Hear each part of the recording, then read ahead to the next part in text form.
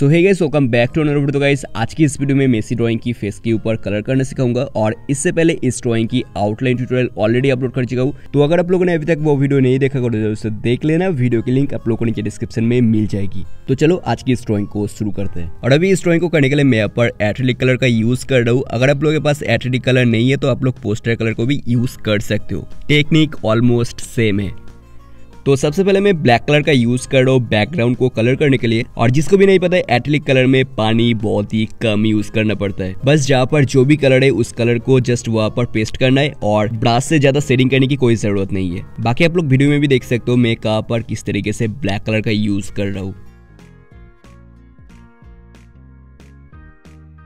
बस background complete हो चुकी है और अभी फेस के ऊपर फ़र्स्ट लेयर सेकेंड लेयर इस तरीके से काम करना है। तो सबसे पहले फ़र्स्ट लेयर में उसी टेक्निक का यूज़ करना है जिस तरीके से मैं बैकग्राउंड को कलर किया था। बस रिफरेंस फ़ोटो को ऑब्ज़र्व करके जहाँ पर जो भी कलर है जस्ट उस कलर को वहाँ पर पेस्ट करना है और हेयर की डायरेक्शन में हल्का करके ब्रश से स्ट्रोक लगाना है। और हाँ कहाँ पर कौन सी कलर का यूज़ कर रहा हूँ, वो आप लोग को स्क्रीन के ऊपर दिख जाएगी।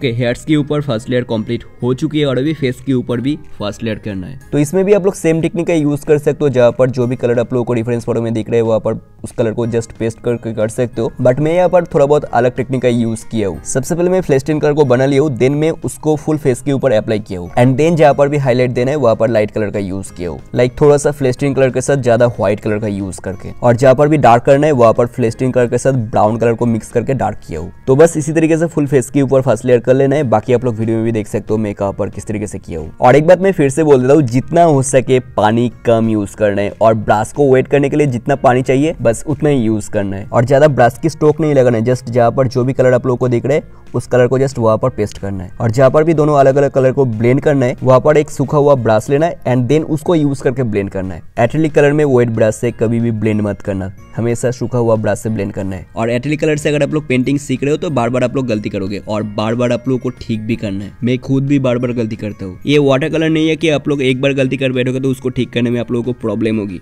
इस पेंटिंग में आप लोग एक ही जगह में बार बार ठीक कर सकते हो। ओके अभी आप लोग देखो मैं कहा पर किस तरीके से कर रहा हूँ।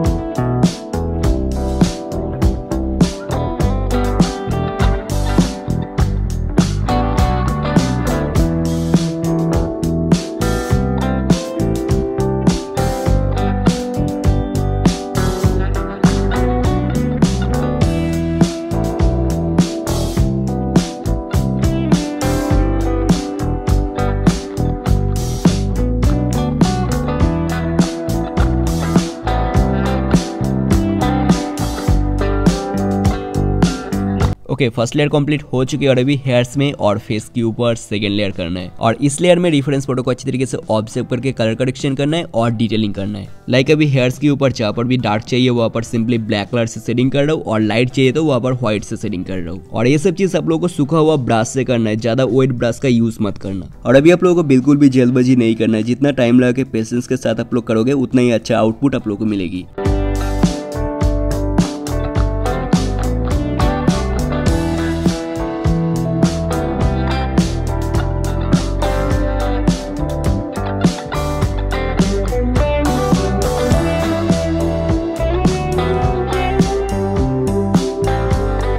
ओके हेयर्स कंप्लीट हो गई है और भी स्किन के ऊपर, जहाँ पर भी हाईलाइट चाहिए, वहाँ पर आप लोग अच्छी तरीके से देखो। एक सूखा हुआ ब्रश से व्हाइट कलर को हल्का करके लेके टैप टैप करके मैं कलर को दे रहा हूँ। और जहाँ पर भी डार्क चाहिए, उस टाइप के एरिया में फ्लेस्टिन कलर के साथ ब्राउन येलो रेड पिंक और ब्लैक को मिक्स करके कर रहा हूँ। और ये नहीं कि डार्क एरिया में सेम उसी कलर को यूज़ करना है। थोड़ा कलर कम ज़्यादा करके आप लोगों को करना है डिफरेंस फ़ोटो के अकॉर्डिंग बेसिकली कलर क्रिएट करना आप लोगों को आना चाहिए।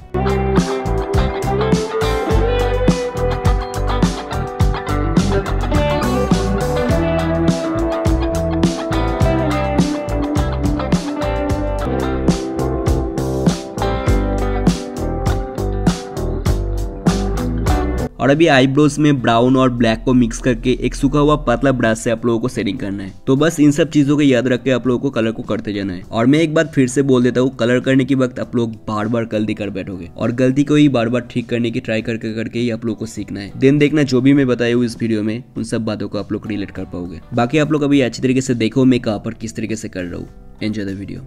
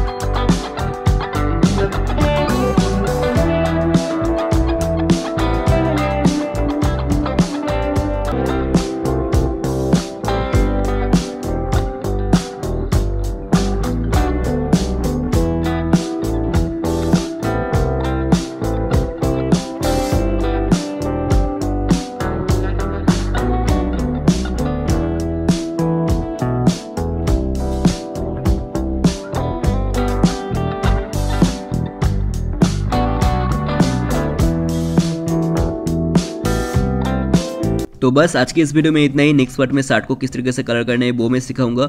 सो मिलते हैं इसके नेक्स्ट पार्ट में। मैं कल ही अपलोड कर दूँगा। So thank you so much for watching this video bye